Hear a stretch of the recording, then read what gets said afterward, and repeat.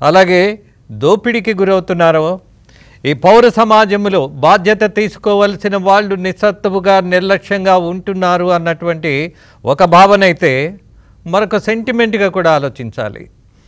ఈ జన్మనిచ్చింది దేవుడు. తొమ్మిది నెలలు మోసి కనిపించింది తల్లి. దేవుడిని వదిలేద్దాం. తల్లిని గుర్తుపెట్టుకుందాం.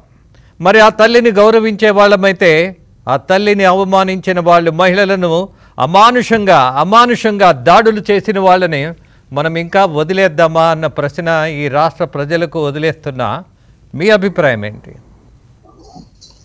ఈ రాష్ట్ర ప్రభుత్వం మీద ప్రజల్లో నమ్మకం కోల్పోయిందండి. ఈ రాష్ట్ర ప్రభుత్వం ప్రజల్లో తన నమ్మకాన్ని కోల్పోయింది విశ్వాసాన్ని కోల్పోయింది. ముప్పై సంవత్సరాల ఆంధ్ర రాష్ట్రం వెనక్కి వెళ్ళిపోయింది అన్న విషయం సామాన్యుల దగ్గర నుంచి అతి సామాన్యుల వరకు అందరికీ తెలిసిన అంశం అండి.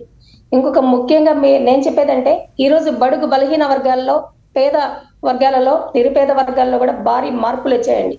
ఈ రోజు ప్రతి ఒక్కళ్ళు కూడా తన పిల్లల్ని చదివించుకొని ఆ, సమాజంలో అన్ని విషయాలు తెలుసుకునే స్థాయిలో ఉన్నారు. ఎందుకంటే ఆ రోజు ఎన్నికల టైంలో ఇచ్చిన హామీలకి ఇప్పుడు జగన్మోహన్ రెడ్డి గారు చేస్తున్నటువంటి విన్యాసాలకి చాలా తేడా ఉందండి.